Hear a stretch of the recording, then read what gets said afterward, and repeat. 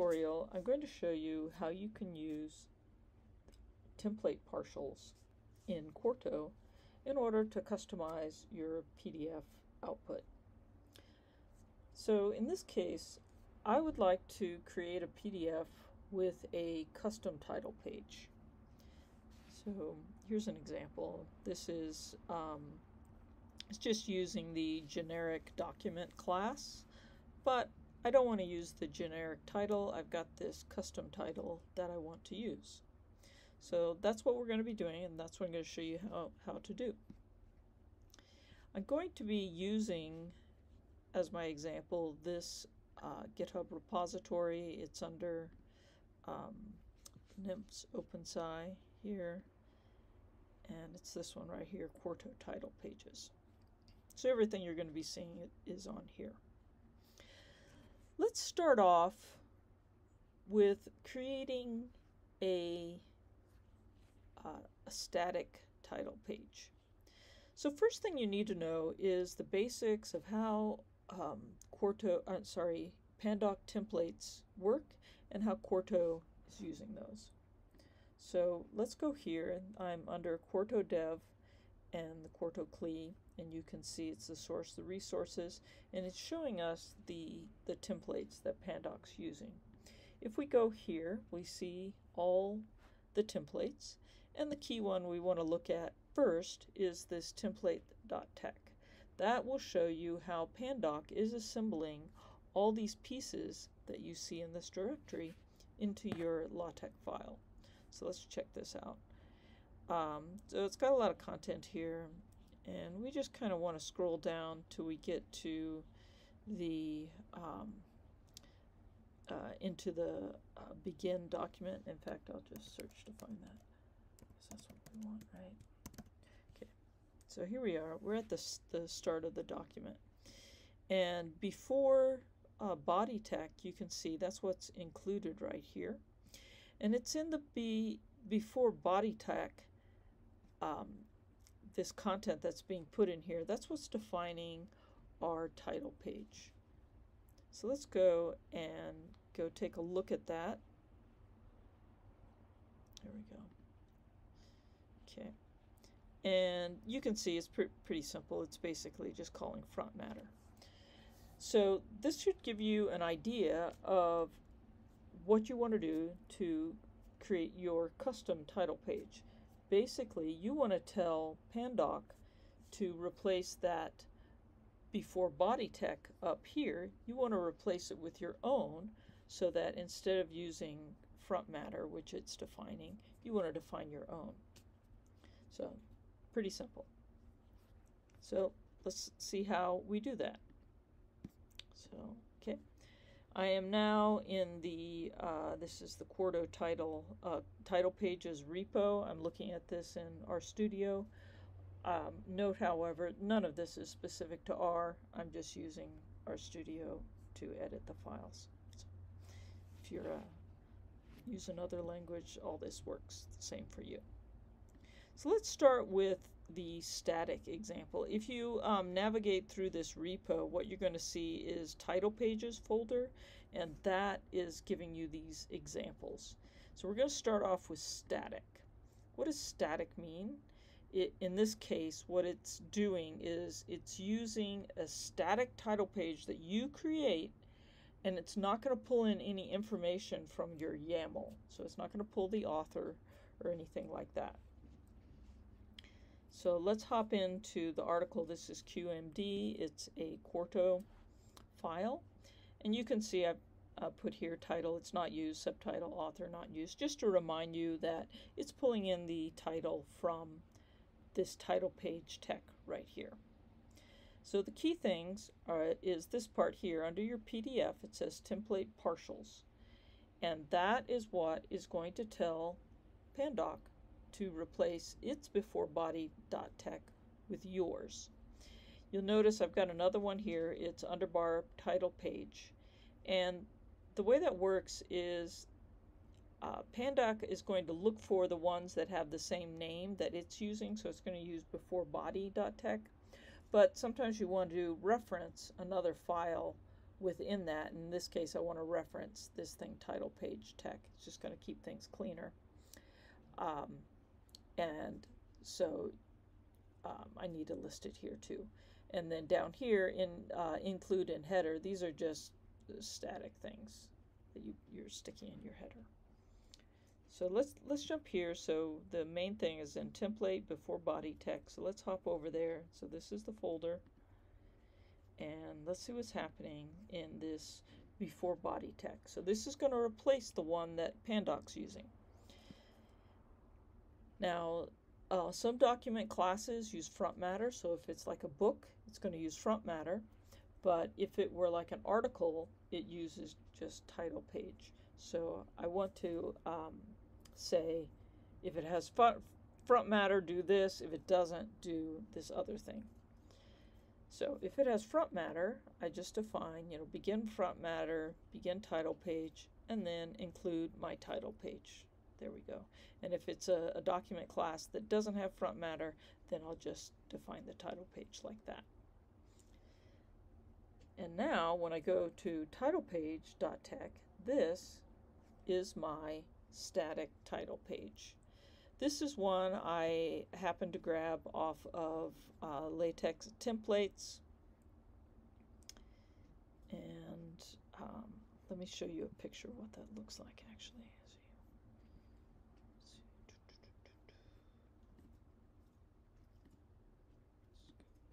Here. Okay. Yeah, so um, it's basically this one here. This, uh, oops. So it looks looks like that. It just came off, um, like I said, the template title pages. And if you go, um, I put, you know, if you go to this link, you can go and find the, the LaTeX code. So I just copied that, and um, it, it started with a begin title page, so I didn't need that because that's being defined in before body. I just needed the part in between begin title page and end title page, and I just grabbed that content. Basically, it's just it's just some LaTeX code to define a title page, and and that's it. Um, what's in the in header? Nothing special.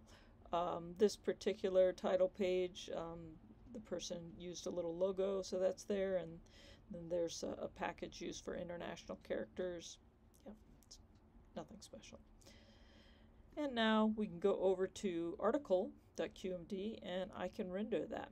I'm in RStudio, so I'm going to click the render button. If you're not in RStudio, just, you know, if you're working from the command line, uh, from the shell, you do quarto space render. Let's go there.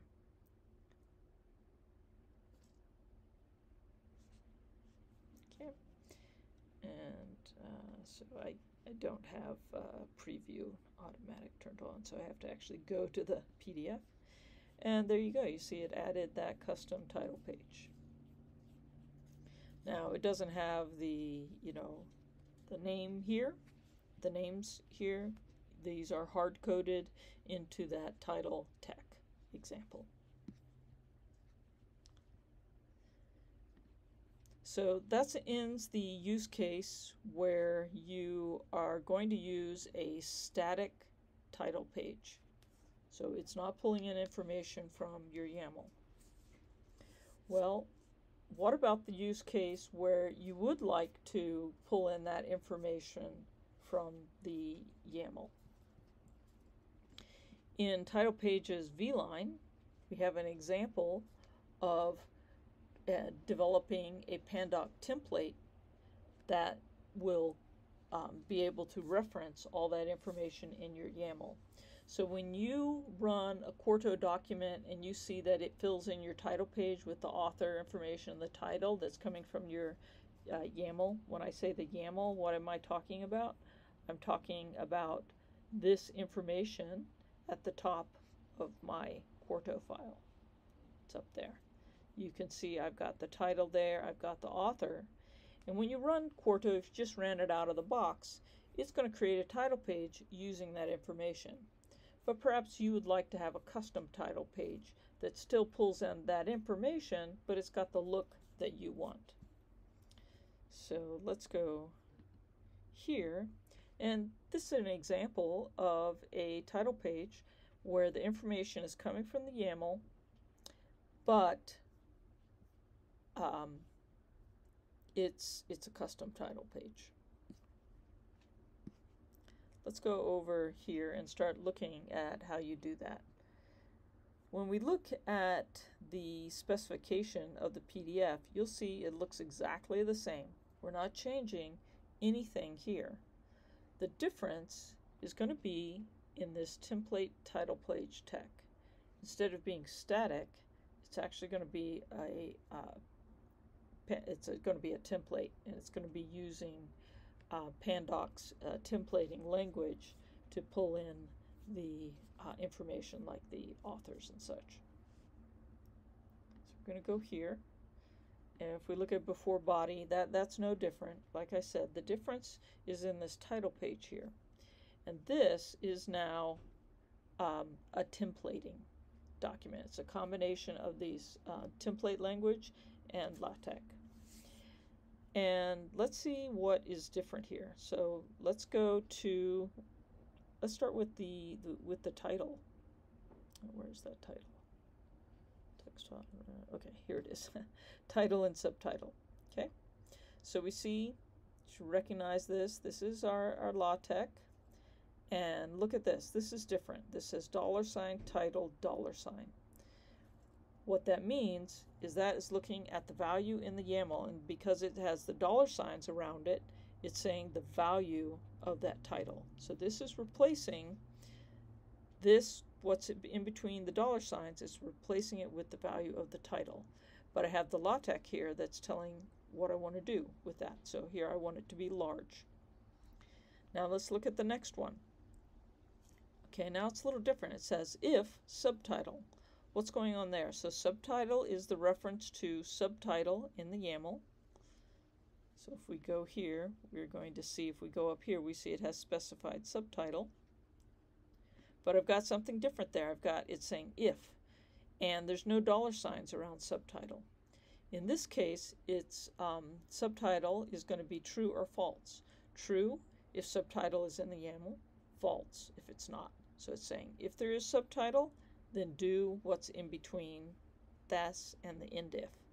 And if it is there, it wants to have large italics, and then um, now it has the dollar sign, so that's the value of the subtitle. So pretty straightforward with the title and the subtitle. Now let's go on to the authors. And now with the authors, it starts to get complicated because we might have multiple authors.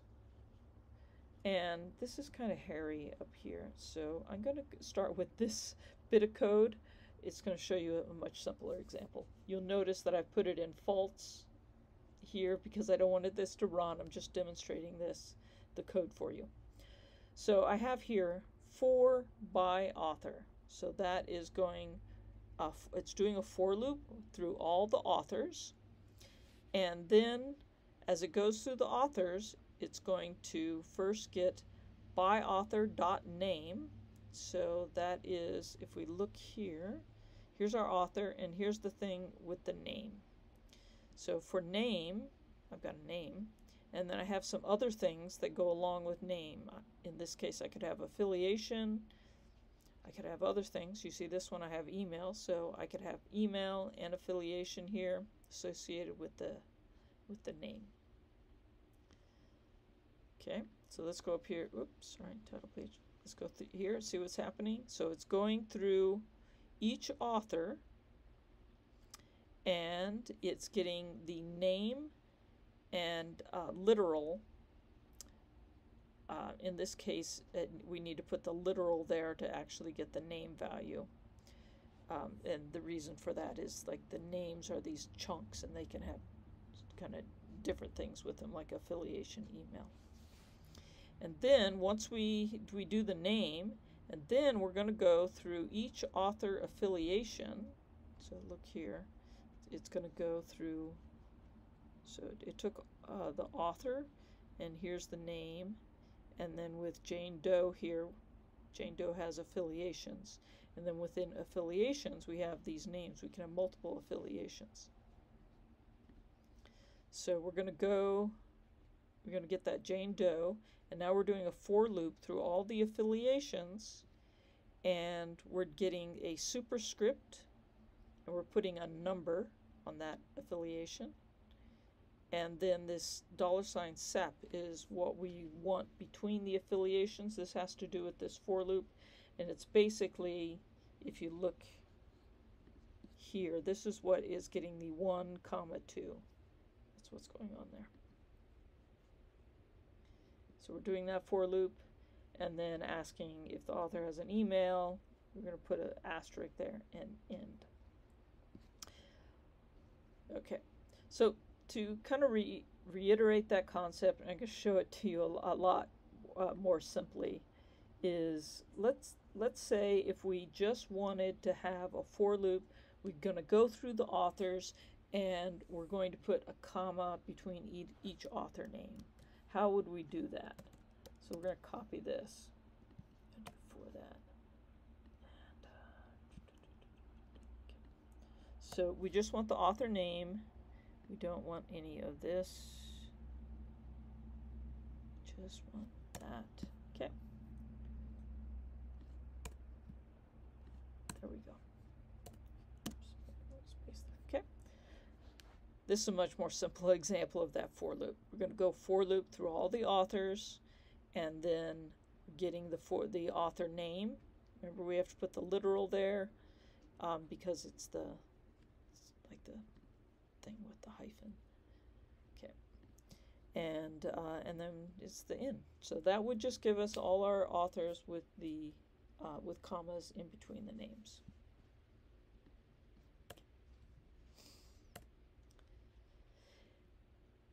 So that's the basic idea here. That's um, you know how how it's combining these um, the the Pandoc uh, template language with our LaTeX, and this is dynamically creating that title page information for us with the authors.